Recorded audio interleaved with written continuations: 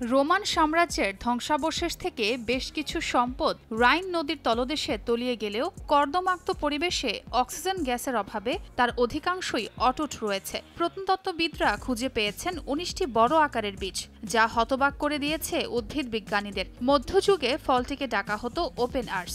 ফলটির তলার অংশের সাথে মানুষের অঙ্গের মিল থাকায় একে বলা হতো open arse. Iran, Azerbaijan, Kyrgyzstan ও জর্জিয়াতে চাষ হতো ফলটির। ইরানের কিছু অঞ্চলে পেটের সমস্যার জন্য মেডলার গাছের পাতা, বাকল, কাঠ, ফল ব্যবহৃত হয়ে থাকত। ষোলোশো সালের দিকে মালবেরি, কুইন্স, পিয়ার্স, আপেল ইত্যাদি দশটা ফলের মতো মেডলারও জনপ্রিয় হয়ে ওঠে।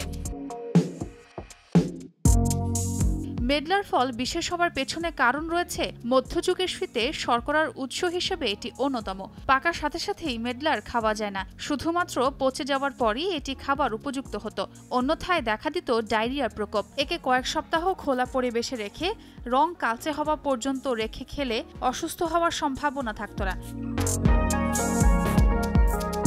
এই পদ্ধতিকে বলা হতো ব্লেটিং। এতে করে জটিল শর্করাগুলো বিশ্লিষ্ট হয়ে গ্লুকোজ ও ফ্রুক্টোজের মতো সরল শর্করায় পরিণত হয়। যত বেশি পচন ধরে মেডলারে, তত বেশি ম্যালিক অ্যাসিডের পরিমাণ বাড়ে। ম্যালিক অ্যাসিডের উচ্চ মাত্রার কারণে আপেলের মতো কিছুটা টক স্বাদ চলে আসে।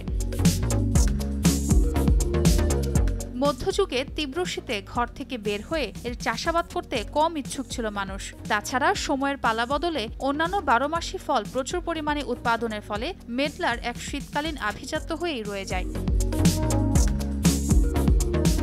ছোয়া খন্দকার সময় সংবাদ।